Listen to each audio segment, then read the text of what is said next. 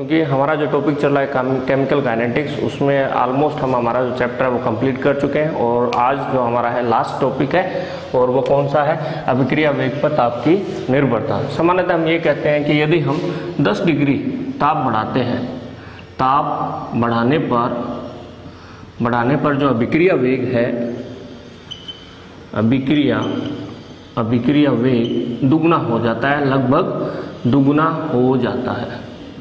हो जाता है। इसे हम क्या कहते हैं? ताप गुणांक कहते हैं। इसे क्या कहते हैं? ताप गुणांक कहते हैं। ताप गुणांक कहते हैं। तो का ताप गुणांक होता क्या है? ताप गुणांक क्या होता है? एक अनुपात होता है रेशो होता है, किसका? वेग नियतांक। का अनुपात होता है जैसे के टी प्लस टेन और के टी के टी कोई भी ताप मान सकते हैं। जैसे मान लिया मैंने कितना है के टी मान लिया 25 डिग्री सेल्सियस टेम्परेचर है तो टी प्लस टेन इसका मतलब के जो है टी प्लस जो टेन है टी प्लस टेन वो कितना हो जाएगा? 35 डिग्री सेल्सियस हो जाएगा और ये लगभग किसका होता है? दो गुणा हो जाता है। तो सामान्यतः हम ये कहते हैं कि अभिक्रिया, जब आप 10 डिग्री ताप बढ़ाते हैं तो उसमें दो कारक होते हैं जिसमें परिवर्तन होता है। परिवर्तन होने के कारण ही क्या होता है? अभिक्रिया का जो वेग है वो बढ़ जाता है। तो पहला जो होगा इसके अंदर, क्या होता है इसके अंदर? आपका कुलिजन सगट, ठीक है, आवर्ती आवर्ती में वृद्धि। जो कुलिजन जो आपकी फ्रीक्वेंसी है, कुलिजन फ्रीक्वेंसी या टक्करों की संख्या हम ये कह सकते हैं कि उसके अंदर वृद्धि हो जाती है। तो जनरली हम ये कहते हैं कि अगर आप ताप बढ़ाते हो तो क्या होगा? इसके अंदर जो भी अभिकारक है, वो एनर्जी अवशोषित करके उनकी गतिज ऊर्जा बढ़ जाती है। तो मैन ये ध्यान रखना है, ताप बढ़ाने पर ताप अगर आप क्या करते हो इंक्रीज करते हो तो क्या बढ़ जाता है? अणुओं की गतिज ऊर्जा बढ़ जाती है। जब उसकी गतिज ऊर्जा बढ़ेगी अणुओं की तो उसके अंदर क्या होगी? टक्करों की जो संख्या है, वो क्या हो जाएगी? टक्करों की संख्या जो है, वो बढ़ जाती है। बढ़ जाती है। जब टक्करों की संख्या बढ़ेगी तो अभिक्रिया का वेग क्या हो जाएगा? बढ़ जाएगा। परंतु हमें ये ध्यान में रखना है कि 10 डिग्री ताप बढ़ाने पर 10 डिग्री ताप बढ़ाने पर गतिज ऊर्जा गतिज ऊर्जा केवल केवल तीन प्रतिशत ही बढ़ती है। तीन प्रतिशत ही बढ़ती है। इसका मतलब ये हो गया, अगर गतिज ऊर्जा तीन परसेंट हमारी बढ़ेगी तो जो अभिक्रिया का वेग है वो भी कितना बढ़ना चाहिए? तीन परसेंट ही बढ़ना चाहिए। परंतु परंतु होता क्या है इसके अंदर? परंतु जो अभिक्रिया वेग है अभिक्रिया वेग वो कितना बढ़ जाता है? लगभग 200 प्रतिशत बढ़ जाता है। वो क्या होगा? 200 प्रतिशत बढ़ जाता है। अतः सिर्फ़ इस एक कारक के आधार पर हम ये कहें कि भाई संगठ आवर्ती अगर की संख्या बढ़ जाती है या टक्करों की संख्या बढ़ जाती है तो उसके आधार पर हम अभिक्रिया वेग को नहीं समझा सकते। ठीक है तो ये आपने ध्यान में रखना है। सिंपल कि 10 डिग्री ताप बढ़ाएँगे तो अभिक्रिया का वेग दुगुना हो जाएगा, जिसे हम क्या कहते हैं ताप गुणांक कहते हैं। ताप गुणांक होता क्या है? ये वेग नियतांकों का अनुपात होता है, जिसमें टेम्परेचर में 10 डिग्री का अंतर हो और ये होता किसके बराबर है? लगभग दो या तीन के बराबर होता है। तो ये अभिक्रिया का वेग क्यों बढ़ जाता है? ताप बढ़ाने पर यह दो कारकों में वृद्धि होती है। पहले तो कुलिजन फ्रिक्वेंसी में वृद्धि हो जाती है। तो हम जनरली कहते हैं, जैसे ही आप ताप को बढ़ाएँगे तो वो ऊर्जा को अवशोषित करेंगे, उनकी गतिज ऊर्जा बढ़ जाएगी। जब गतिज ऊर्जा बढ़ेगी तो टक्करों की संख्या बढ़ जाएगी। जब टक्करों की संख्या बढ़ेगी तो अभिक्रिया का वेग भी क्या हो जाएगा? इसमें बढ़ जाएगा। लेकिन लेकिन आपने ध्यान रखना है कि 10 डिग्री अगर आप ताप बढ़ाते हो तो गतिज ऊर्जा कितनी बढ़ती है? केवल तीन प्रतिशत ही बढ़ती है। जब ये केवल तीन परसेंट बढ़ेगी, लेकिन हमको पता है कि अभिक्रिया का जो वेग है वो कितना बढ़ रहा है? दुगुना हो रहा है। दुगुना का मतलब आपका लगभग दो बढ़ जाता है। तो सिर्फ़ कुलिजन फ्रीक्वेंसी या टकरों की संख्या में वृद्धि के आधार पर हम उसको नहीं समझा सकते। तो उसके बाद जो आपका है इसमें सेकंड कारक दिया गया प्रभावी टकरों की संख्या में वृद्धि। दूसरा जो कारक कौन सा दिया गया? प्रभावी टकरों की संख्या में वृद्धि। दूसरा आपका फैक्टर दिया गया प्रभावी टकरों की संख्या में वृद्धि। प्रभावी टकरों की संख्या संख्या में वृद्धि। ठीक है? क्योंकि हमको पता है कि आपका सभी जो टक्करें होती है, वो प्रभावी नहीं होती। कुछ टक्करें क्या होती है? प्रभावी होती है। ठीक है? और जो अभिक्रिया का जो वेग है, अभिक्रिया का वेग वो किस पर निर्भर करता है? प्रभावी टक्करों पर ही निर्भर करता है। तो हम ये कह सकते हैं कि प्रभावी टक्कर क्या होती है? यानी कि वे टक्करें वे टकरें टकरें जो अभिकारक को अभिकारक को उत्पाद में बदल देती है। उत्पाद में बदल देती है। देती है, क्या कहलाती है वो? प्रभावी टकरें कहलाती है। ठीक है, प्रभावी टकरें कहलाती है। तो ये ध्यान रखना है, प्रभावी टक्कर क्या होगी उसके अंदर? मैंने जो आपका कुलिजन थ्योरी थी उसके अंदर हमें बताया था कि उसके अंदर क्या होना चाहिए? तो मिनिमम एनर्जी होनी चाहिए, जिसको हम दैली ऊर्जा कहते हैं, और दूसरा वो एक निश्चित अभिविन्यास में टकरानी चाहिए। जब वो एक निश्चित अभिविन्यास में टकराएगी, और और उनके बाद एक जो न्यूनतम ऊर्जा होगी, तभी वो क्या होगी? टक्कर क्या होती है? प्रभावी होती है। तो हम ये कहते हैं कि दस डिग्री अगर आप ताप बढ़ाते हो तो प्रभावी टक्करों की संख्या जो है, वो क्या हो जाती है? दुगुनी हो जाती है। एक साइंटिस्ट थे, Maxwell Clerk Maxwell. Clerk Maxwell Clerk Maxwell and Boltzmann Maxwell and Boltzmann Boltzmann इन्होंने क्या किया था? एक ग्राफ बनाया था किसके बीच में प्रभावी टक्करों का अंश, ठीक है? किस, किसके बीच में? प्रभावी टक्करों का अंश और ऊर्जा के बीच में। और ऊर्जा के बीच में प्रभावी टक्करों का क्या हो गया आपका? टोटल टक्करों में से कितनी टक्करें हैं जो क्या होती है? प्रभावी होती है, अर्थात वो किसके अंदर बदल जाती है? उत्पाद के अंदर बदल जाती है। उसके बीच में और उसके बीच में इन्होंने क्या किया था? एक ग्राफ खींचा था और इस तरह का इनको एक ग्राफ मिला। इस टाइप का इनको क्या मिला? एक ग्राफ मिला। ठीक है? तो ये तो हो गया प्रभावी टकरों का अंश, यानी कि D N upon N naught N naught क्या है यहाँ पर? कुल आपके इसके अंदर टकरे हैं और डीएन क्या है, उनका अंश है जो प्रभावी होती है। तो इनके बीच में हुआ। तो इन्होंने ये बताया कि वे अणु जिनकी ऊर्जा, मैं इसको ई e पॉइंट से प्रदर्शित कर रहा हूँ, वे अणु या वे अभिकारक जिनकी ऊर्जा ई e से ज़्यादा, इस बिंदु से ज़्यादा होती है तो वो टकरें किसमें बदल जाती है? उनकी जो ऊर्जा है, किस बिंदु से? इस ई e बिंदु से। इतने। कितने इसके अंदर अगर आपने देखें कि अगर इतनी जो आपके अणुओं की संख्या है, जिनकी ऊर्जा क्या है, इस बिंदु से ज़्यादा है। इस बिंदु से ज़्यादा है, जब ऊर्जा इस बिंदु से ज़्यादा होती है, तब उनकी जो ऊर्जा है, वो डेली ऊर्जा से ज़्यादा हो जाती है। जब उनकी ऊर्जा डेली ऊर्जा से ज़्यादा होगी तो वो किसमें बदल जाएँगे? उत्पाद के अंदर बदल जाएँगे। तो ये जो इन इतने अणुओं का जो अंश है, वो किसमें बदल जाता है? उत्पाद में बदल जाता है। और जो दूसरे जो आपके अणु हैं, उनकी जो ऊर्जा होती है, ये लगभग जो सभी जो है मोस्ट ऑफ़ जो आपके अभिकारक है, उनकी जो ऊर्जा, वो अधिकतम होती है, लेकिन लेकिन यह दहली ऊर्जा से कम होती है। इस पॉइंट से जो आगे सारी ऊर्जा होगी, उसको आप क्या कहोगे? उनकी जो ऊर्जा होती है, वो दहली ऊर्जा से ज़्यादा होती है। अतः इसको हम क्या कहते हैं? औसत जो है, इसको आप क्या कहोगे? अधिकतम संभावित गतिज ऊर्जा कह सकते हैं।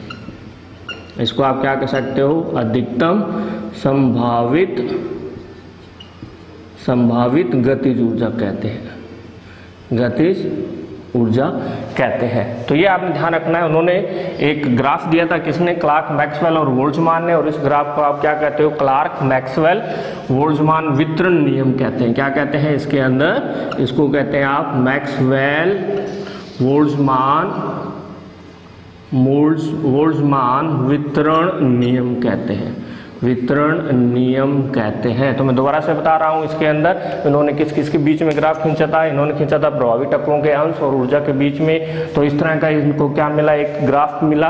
ग्राफ के आधार पर उन्होंने ये बताया कि यदि यदि वे अणु जिनकी ऊर्जा जिनकी ऊर्जा क्या हो जाती है? इस ई बिंदु से ज़्यादा होती है। किस बिंदु से? इस ई बिंदु से। जिनकी ऊर्जा, जिन अणुओं की ऊर्जा ज़्यादा होगी, उनकी जो ऊर्जा होती है, वो देली ऊर्जा से ज़्यादा हो जाती है तथा वो किसमें बदल जाते हैं? उत्पाद में बदल जाते हैं। मान लेते हैं, ये आपका ग्राफ है, किस पर है? आपका के पर है। तो उसके बाद उन्होंने क्या किया? इसका दस डिग्री दस डिग्री ताप बढ़ा के फिर एक नया ग्राफ खींचा, नया ग्राफ बनाया, जो ग्राफ जो है वो इस तरह से प्राप्त होता है। अगर यही हम ग्राफ बनाएँ कि इसके बीच में दो दस डिग्री ताप बढ़ाकर बनाएँ तो ये तो हो गया हमारा इसके बीच में D N upon N naught के बीच में, प्रभावी टक्करों के बीच में, और इधर हमने क्या ले लिया? ऊर्जा के बीच में। तो मान लेते हैं हम, ये हमारा कौन सा ग्राफ है? पहले वाला ग्राफ है, जो किसके ऊपर है? के टी ताप टी आपका कितना हो सकता है? 10 होगा या 20 होगा 30 होगा, कुछ भी। और दूसरा हम ग्राफ ले रहे हैं। किसके बीच पे ले रहे हैं? ये जो ग्राफ जो प्राप्त हुआ उसको के टी प्लस टेन डिग्री पर प्राप्त हुआ। ठीक है? अब ये आपका यहाँ पर क्या है? ई बिंदु है। इससे ज़्यादा जितने भी अणु है, इस बिंदु से ज़्यादा जिनकी भी ऊर्जा है, वो किसमें बदल जाएँगे? उत्पाद के अंदर बदल जाएँगे। तो मान लेते हैं, ये ई बिंदु हमारा हो गया। ये पॉइंट ए है, ये हमारा पॉइंट बी है और इसको सी मान लेते हैं, इसको डी मान लेते हैं और इसको हम क्या मान लें? ई मान लें और इसको हम क्या मान लें? एफ़ मान लेते हैं, ठीक है? तो जो हमारा जो ये एरिया जो है, कौन सा एरिया एरिया जो है हमारा क्षेत्र क्षेत्र कौन सा? ए बी ये आपका सी और ये डी ये वाला जो क्षेत्र है ये। ए बी और सी डी क्षेत्र और दूसरा क्षेत्र कौन सा हो गया हमारा? जो के प्लस टेन डिग्री पर है। कौन सा क्षेत्र हुआ? ये वाला यहाँ से ए दूसरा क्षेत्र कौन सा है? दूसरा हमारा क्षेत्र हो गया कौन सा? ये ए ए फिर ये हमारा कौन सा? कौन सा वाला ई ए ई फिर उसके बाद ये कौन सा? ये एफ़ और उसके बाद ये हमारा डी तो ये जो क्षेत्र है वो क्या है? इसका लगभग इस क्षेत्र का ये जो क्षेत्र है, लगभग क्या होता है? दुगुना होता है। इसका मतलब क्या हो गया कि जो प्रभावी टक्करों की संख्या क्या होगी? दुगनी हो गई जब प्रभावी टक्करों की संख्या दुगनी हो गई, इसका मतलब अभिक्रिया का वेग भी क्या हो जाता है? दुगुना हो जाता है। तो आपने ध्यान में रखना है कि 10 डिग्री अगर टेम्परेचर आप बढ़ाते हो तो टक्करों की संख्या के कारण अभिक्रिया का वेग कभी नहीं बढ़ता। वो किसके कारण बढ़ता है?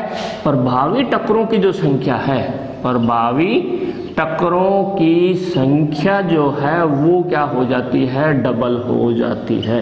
ये कंपटीशन में बहुत बार क्वेश्चन आता है नीट के अंदर भी आता है आईआईटी के अंदर भी आता है। तो ये ध्यान रखना है 10 डिग्री टेम्परेचर बढ़ाने पर टक्करों की संख्या के कारण अभिक्रिया का वेग नहीं बढ़ता। किसके कारण बढ़ता है? प्रभावी टक्करों की संख्या जो होती है, वो दुगुनी हो जाती है। तो ये तो हो गया इसके अंदर अभिक्रिया वेग की ताप पर निर्भरता। अब दो हमारी छोटी छोटी डेफिनेशन है। एक तो जिसको हम क्या कहते हैं? दहली ऊर्जा कहते हैं और और दूसरा है इसके अंदर सक्रिय ऊर्जा। ठीक है? तो उसके बारे में हम अध्ययन करेंगे कि डेली ऊर्जा किसको कहेंगे और सक्रिय ऊर्जा किसको कहेंगे। मान लेते हैं हम इसके अंदर एक ग्राफ खींच रहे हैं। पहला है हमारा इसके अंदर दहली ऊर्जा। दहली ऊर्जा। क्या होगा? इसके अंदर मान लिया हमने कोई ग्राफ खींचा। ठीक है? मान लेते हैं ये कोई हमारा क्या है? ग्राफ प्राप्त हो रहा है। इसके अंदर अभी हमारे पास क्या है? अभिकारक है और इधर क्या है? उत्पाद है। ठीक है? ये हमारे क्या हो गए? उत्पाद है। ये तो इधर हमारा क्या आ जाएगा? ऊर्जा आ जाएगी और यहाँ पे अभिक्रिया की प्रगति आ जाएगी। अभिक्रिया की प्रगति आ जाएगी। ठीक है? तो देखिए इसके अंदर किसी भी अभिकारक को उत्पाद में बदलने के लिए क्या होगा? इस पुल को पार करना पड़ेगा। यानी कि अगर अभिकारक के पास अगर इतनी ऊर्जा है, कहाँ से कहाँ तक? इतनी ऊर्जा अगर है तो वो किसमें बदल सकता है? उत्पाद में बदल सकता है। जैसे कि मैं आपको पहले बता चुका अगर हमें ट्वेल्थ क्लास पास करनी है तो न्यूनतम हमें 33 मार्क्स चाहिए चाहिए। तो वैसे ही क्या होता है कि दैली ऊर्जा क्या है? न्यूनतम ऊर्जा। या, हमारा है क्या यहाँ पर? न्यूनतम ऊर्जा जो अभिकारकों को उत्पाद में बदल देती है। उसको आप क्या कहते हो? दहली ऊर्जा कहते हैं। तो दहली ऊर्जा क्या है? न्यूनतम ऊर्जा। ध्यान रखना है, न्यूनतम ऊर्जा जो रिएक्टेंट को प्रोडक्ट में चेंज कर देती है, उसको आप क्या कहते हो? दहली ऊर्जा कहते हैं। क्या कहते हैं उसको? दहली ऊर्जा कहते हैं, ठीक है? और हर क्रिया के पास क्या होते हैं? कुछ ना कुछ कुछ ना कुछ ऊर्जा होती है, ठीक है? और उसको हम क्या कहते हैं? औसत गतिज ऊर्जा कहते हैं। क्या कहते हैं? औसत गतिज ऊर्जा कहते हैं। औसत गतिज ऊर्जा कहते हैं। मान लेते हैं इसको हमें पास होने के लिए कितने चाहिए? 33 परसेंट आपने पढ़ा थोड़े दिनों में और आप मान लेते हैं आपको क्या है? 10 परसेंट मार्क्स आ गए। लेकिन फिर भी आप क्या हो गए? क्लास के अंदर फेल हो गए। तो आपको पास होने के लिए और कितने चाहिए? और हमें कितने चाहिए? जितने भी हमें पास होने के लिए कितने चाहिए? टेन परसेंट आपके आए, पास होने के लिए कितने चाहिए? Thirty three. तो ये जो ट्वेंटी थ्री का जो गैप है, वो क्या है? न्यूनतम अधिक्य ऊर्जा है तो न्यूनतम, लेकिन वो है क्या? अधिक्य मतलब आपको और चाहिए। तो उस ऊर्जा को क्या कहते हैं? सक्रियण ऊर्जा कहते हैं। क्या कहते हैं? सक्रियण ऊर्जा कहते हैं। तो सक्रियण ऊर्जा क्या होती है ये? न्यूनतम अधिक्य ऊर्जा होती है। न्यूनतम आधिक्य ऊर्जा जो रिएक्टेंट को या क्रियाकारकों को उत्पाद में बदल दे। उत्पाद में बदल देती है। उत्पाद में बदल देती है। उसको आप क्या कहते हो? सक्रिय ऊर्जा कहते हैं। और दहली ऊर्जा क्या है? सिर्फ़ न्यूनतम ऊर्जा है। न्यूनतम ऊर्जा। तो हम ये कह सकते हैं कि दहली ऊर्जा दहली ऊर्जा जो है वो किसका है? इन दोनों का योग है। किसका योग है? इसका और इसका। तो ये हमारी क्या है? सक्रिय ऊर्जा है। सक्रिय ऊर्जा है और और ये क्या है? हमारी औसत गतिज ऊर्जा। क्या है? हमारा औसत गतिज ऊर्जा। तो दहली ऊर्जा क्या होती है? इन दोनों का योग के बराबर होती है। तो ये तो हमारा हो गया चैप्टर कंप्लीट। अब हम एक न्यूमेरिकल करेंगे जो इम्पोर्टेंट है और कई बार क्या होता है एग्ज़ाम के अंदर ये आपका आता ही आता है, जिसमें अभिक्रिया की कोटि हमें क्या होता है, ज्ञात करना होता है। ये आपका है क्वेश्चन नंबर जो है आपके एन बुक्स के अंदर जो दिया हुआ है 15 नंबर क्वेश्चन है। क्वेश्चन नंबर 15 है। उसमें मैं मेन मेन पॉइंट लिख रहा हूँ और फिर हम इसको क्या करेंगे, इसको सॉल्व करके देखेंगे। ठीक है तो क्वेश्चन नंबर आपका है 15 15 के अंदर ये दिया हुआ है अभिक्रिया दिया हुआ है। इंपॉर्टेंट है ये question 2a plus B change into C plus D ठीक है? कहता है कि इसकी बल गति का अध्ययन करते हुए निम्न परिणाम प्राप्त हुए। अभिक्रिया के वेग, नियम और वेग स्थिरांक को ज्ञात करना है। तो इसने प्रयोग किया है फ़र्स्ट सेकेंड ये क्वेश्चन नंबर आपका 15 है। बुक में एनसीईआरटी e में देख लेना आप। ये थर्ड और ये आपका फोर्थ और यहाँ पे इसने ए की कंसंट्रेशन दी है, यहाँ बी की दी हुई है। और यहाँ पर इसने क्या दिया हुआ है? डी के बनने का प्रारंभिक वेग दिया हुआ है। क्या दिया हुआ है इसने? डी के बनने का प्रारंभिक वेग दिया हुआ है, ठीक है? तो ए की कंसंट्रेशन इसने 0.1 दिया हुआ है। इधर भी कितना दिया है? 0.1 है। इधर 6 इंटू टेन के पावर माइनस थ्री मैं यूनिट नहीं लिख रहा हूँ। आप इसको देख लेना। एक बार यूनिट आप अपने आप लिख लेना। Point three zero point two और ये आपका है 7.2 पॉइंट टू इंटू टेन के पावर माइनस टू। और ये आपका थर्ड एक्सपेरिमेंट में इसने प्रारंभिक सांद्रता एक इतने ली पॉइंट थ्री बी की इतने ली पॉइंट फोर तो अभिक्रिया वेग इसका कितना है two point eight eight into ten की पावर माइनस वन आया। और फोर्थ एक्सपेरिमेंट में zero point four zero point one mole पर लीटर लिया और ये आया two point four into ten की पावर माइनस टू आया। तो हमें क्या निकालना है इसका वेग नियम? वेग नियम का मतलब यह हो गया कि इसमें अभिक्रिया की कोटि निकालनी है इसके अंदर। तो मान लेते हैं हम जो आपका वेग जो है मान लिया कि वेग जो है वो कोई भी आप मान सकते हो। कहता है कि इसकी जो अभिक्रिया कोटि हम x मान लें और इसकी अभिक्रिया कोटि हम क्या मान लें? y मान लें। तो अभिक्रिया का वेग आपका क्या हो जाएगा? k या समानुपाती मान लीजिए, a की पावर क्या मान लिया मैंने x और b की पावर हम मैंने क्या मान लिया इसके अंदर? y मान लिया। ठीक है? अब आपने क्या देखना है इसके अंदर? पहले हम ए के सापेक्ष निकालेंगे, फिर बी के सापेक्ष निकालेंगे। ठीक है तो आपने ऐसी कंसंट्रेशन चुननी हो जिसमें क्या हो? दो एक जैसी हो। जैसे हम देखें कि ए की अगर आपने देखें तो सेकंड और थर्ड में क्या है? पॉइंट थ्री पॉइंट थ्री है। ठीक है, हम दोनों के रेट लिखेंगे, फिर उसको भाग देंगे तो ये तो कट जाएगा, फिर इसके सापेक्ष आपकी आ जाएगी। फिर अगर हमें बी के सापेक्ष निकालनी है तो हम ये देखेंगे बी में क्या है, दो एक जैसी होनी चाहिए। तो इसमें पॉइंट वन है और ये पॉइंट फोर है। तो हम इसको ले लेंगे वेग को और इसको वेग को ले लेंगे। तो उसके आधार पर हम क्या निकाल सकते हैं, इसके वेग नियतांकों के मान निकाल सकते हैं। जैसे हम मैं ले रहा हूँ इसके अंदर रेट वन एक्सपेरिमेंट वन है तो हम क्या लेते हैं? रेट वन ले लेते हैं। चलिए, इसको कर लिया कि पहले एक्सपेरिमेंट के लिए रेट वन इजिकल टू हमारे पास क्या था? मैंने क्या माना था? ए का एक्स माना था और बी का क्या माना है? वाई माना है। और के का के का पड़ा रहेगा क्योंकि के जो है वो कैंसिल आउट हो जाएगा। तो रेट वन आपका है कितना? ये देखिए, कितना है? सिक्स इंटू टेन की पावर माइनस थ्री के का के लिख दीजिए। ए ए की जगह पे इसकी सांद्रता कितनी है? ज़ीरो पॉइंट वन है। मान लिया ये आपका कितना है? एक्स है। बी की सांद्रता कितनी है? ज़ीरो पॉइंट वन है और इसकी हमने मान ली वाई आपको मान लेना है एक्स मान लीजिए वाई मान लीजिए ए मान लीजिए बी मान लीजिए आर मान लीजिए, जो मानना है वो मान लीजिए। अब मैं क्या कर रहा हूँ? इसके अंदर ये पॉइंट वन था। ये हमने ले लिया। फिर इसके बाद ये चौथा वाला, इसमें भी क्या है? इसका पॉइंट वन है, इसका पॉइंट वन तो ले लीजिए। फिर रेट फोर रेट फोर का मतलब एक्सपेरिमेंट नंबर हम क्या ले रहे हैं? फोर ले रहे हैं। ठीक है? वही सेम के मान लिया ए की आपकी एक्स है और बी की क्या है आपकी वाई तो रेट फोर कौन सा है? ये आपका two point four into ten की power minus two is equal to आपका कितना है? ए के का के लिखिए। ए कितना है? ज़ीरो पॉइंट फोर और इसका क्या है? एक्स और बी कितना है? ज़ीरो पॉइंट वन और इसका क्या है आपका? वाई है। ठीक है? तो मान लेते हैं इसको क्या दे दीजिए? एक नंबर समीकरण और इसको क्या दे देते हैं हम? दो नंबर समीकरण दे देते हैं। ठीक है? तो अभी आपने क्या करना है इसको? डिवाइड कर देना है। सेकेंड बाय फ़र्स्ट कर दीजिए। सेकेंड इक्वेशन को डिवाइड कर देना किसके द्वारा? इसके द्वारा। तो लिख दीजिए 2.4 पॉइंट फोर इंटू टेन की power minus two is equal to के 0.4 की x 0.1 की वाई इसको डिवाइड कर दीजिए किससे? इसके द्वारा।